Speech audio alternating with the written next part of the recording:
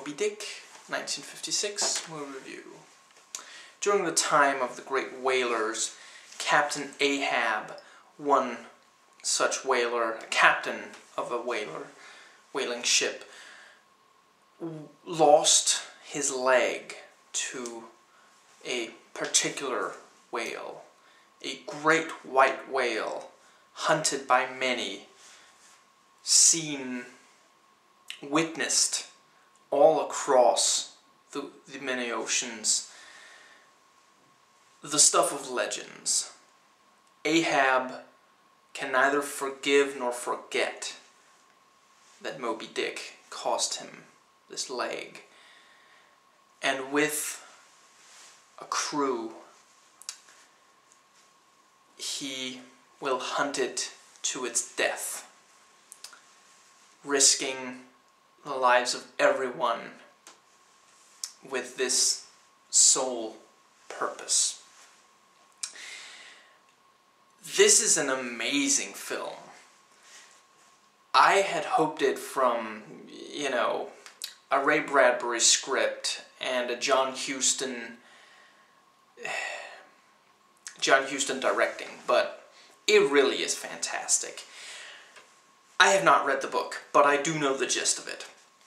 Gregory Peck is fantastic, just spot on as Captain Ahab. He has the intensity and the the hatred. You know, you see it in his eyes. There is just there is nothing left for this man other than his revenge. You know, this this is everything to him. This is his, you know, his only ambition left. Ishmael is not particularly the lead character. He is essentially a witness to what goes on. And I believe this is staying true to the book. Correct me if I'm wrong. The effects are astonishing. They there is some bad green screening, but on the whole, I don't know how they did it. I, you know, some kind of mechanical effects. Maybe some of those whales are real whales. I don't know, but it looks fantastic. It's it's really well paced. You're never bored, even when there isn't something inherently exciting, such as a whale hunt. We do see a couple, you know, to, to really to set up how dangerous it is you know, even when there isn't something threatening someone's life, it, you know, it builds character. It regales the legend, the tale, if you will, of Moby Dick, and just, you know, you, and you get a real sense of what things were like back then, you know. There is this, you know, we start out in this little town where it's really just you know, you're a whaler. That's that's what you are there. You know, you work on a ship to, you know, send set out to, you know, kill whales for, you know, the the bounty thereof. You know, you incredible danger, very low pay, and it really is just you know they really, you know, these people really had to struggle to get by, and you really, you know, you feel that. You can, you can really put yourself in their place, and you know, it's it's almost incomprehensible to us, to modern human beings, just how horrible this life was. But the film does its darndest to, you know, really convey this and it really works. The film is 110 minutes and no time is really wasted. You know, spend some time setting up, you know, you get the basic idea of this world, kind of, you know, the world of whaling, and, you know, you you spend just enough time on land to appreciate it, to, you know, miss it once the, you know, once the ship leaves the dock, you know. which is, by the way, the last time you ever see a single female in the film. You know, it really, it doesn't compromise much at all, at least, for the whole Hollywood thing. You know, it's, it is as harsh as it should be. The dialogue is fantastic. In general, just the lines, you know, some of it is essentially monologuing. The lines are just great.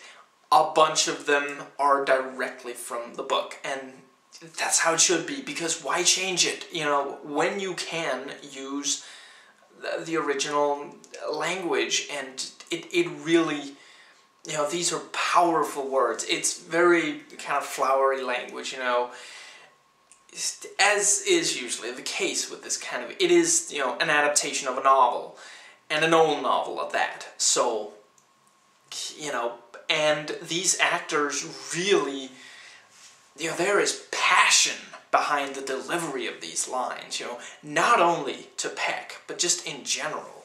The characters are great, there are some really interesting types, you know, just aboard the ship itself, which is mostly the pretty much all of the characters in the film are, you know, the ones aboard the ship. Excuse me. And just, you know, very different perspectives, very different behavior and attitudes. You're not going to necessarily remember absolutely everyone's name, but the basic characteristics do stick with you at least sufficiently. I can imagine this cuts down the overall, you know, action of the book a bit, and that is necessary, of course, you know, to fit it all in. The thematic is really well treated, you know, it... This isn't really spoiling anything. It's set up pretty early on. Basically, by devoting all these uh, all these resources and you know risking all these lives just for revenge, Captain Ahab is essentially committing blasphemy. He is sinning against God. And, you know, you can kind of tell this is, you know, that's not a good thing.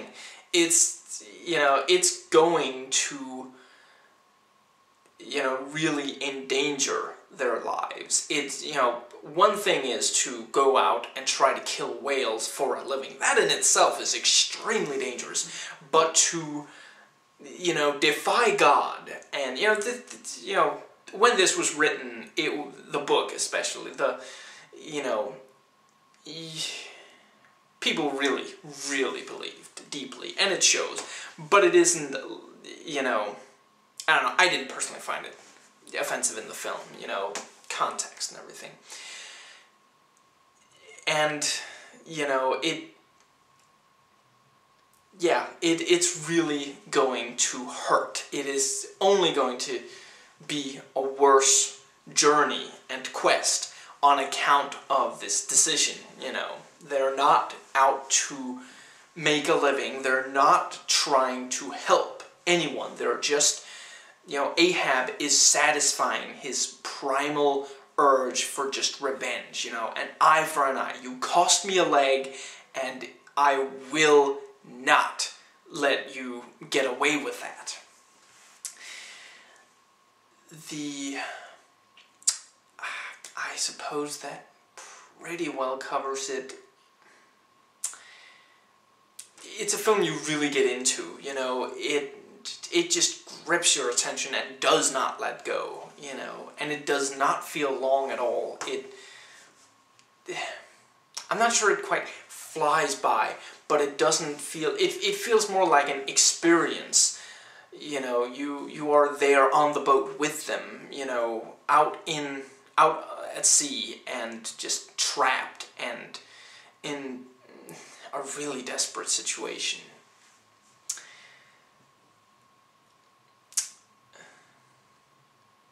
yeah, I think that pretty well covers it. Please rate and comment, and hey, if you like this video, that subscribe button's just waiting for you to click it.